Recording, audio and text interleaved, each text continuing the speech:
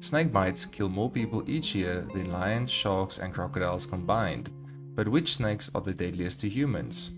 Not just in venom, but in lives lost. Exact death numbers are hard to determine, especially in remote regions where snake bites go unreported and anti-venom is scarce. But by using data from the World Health Organization, health reports, and expert estimates, we can reveal the real killers of the snake world.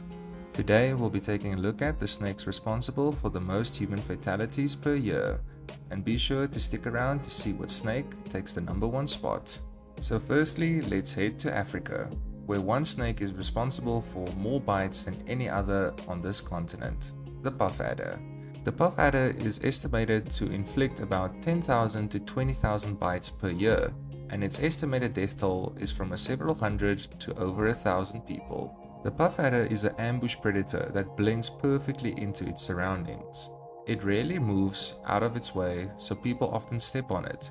That's when it strikes, fast, hard, and often multiple times. Its venom is cytotoxic, meaning it destroys cells and causes rapid tissue death. Victims who don't reach medical care in time may lose limbs or their lives. And because it's so widespread, this one snake is responsible for more bites than any other in Africa. The snake coming in at number 4 on this list is the common krait. Don't let its slim, harmless appearance fool you. The common krait is one of the deadliest snakes in the world with estimated deaths between 3,000 and 6,000 per year. It often enters homes at night and bites sleeping victims. Its venom is powerful, neurotoxic, causing paralysis without much pain. Victims may not even wake up, and death can occur in their sleep. If left untreated, the mortality rate is extremely high. The third snake on this list is the Indian cobra. Famous for its beautiful hood and revered in Indian culture, the Indian cobra is both iconic and incredibly dangerous. Found in most of India, Nepal, Bangladesh and Sri Lanka, its estimated deaths per year is between 5,000 and 10,000.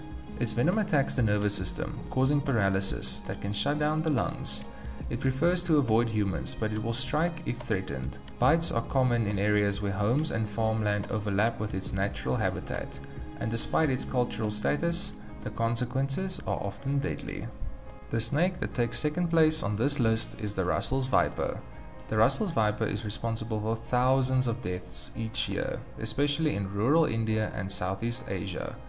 Estimated death toll per year is between 6,000 and 8,000. It's commonly found in farms and near villages. These snakes are thick-bodied and easy to spot, but they don't always move when approached and that's when bites happen. The venom causes kidney failure, blood clotting issues, and sometimes even blindness. Now lastly, the snake responsible for the most human fatalities per year is the saw-scaled viper. Small, fast, and extremely aggressive, the saw-scaled viper is thought to kill more people each year than any other snake. It's found in northern Africa, the Middle East, large parts of India and Sri Lanka, and its estimated deaths is between 5,000 to 30,000 people per year. They grow just under 3 feet, which is about 1.5 meters, but don't let their size fool you. They're unpredictable and often strike rapidly and repeatedly. Their venom causes internal bleeding and without treatment, victims can die within days. Even the warning sound, made by rubbing their scales together, is easy to miss. Together, the big four snakes of India, the saw-scaled viper, Russell's viper, Indian cobra and common krait are estimated to cause over 40,000 deaths per year in India alone. Globally, snake bites kill between 81,000 and 138,000 people every year, according to the World Health Organization. And many of these deaths are preventable, with access to anti-venom, better rural healthcare and public awareness. Snakes aren't evil, they're just part of the ecosystem. But when people and snakes collide in places without medical support, the results can be tragic. If you enjoyed the video, remember to drop a like on your way out.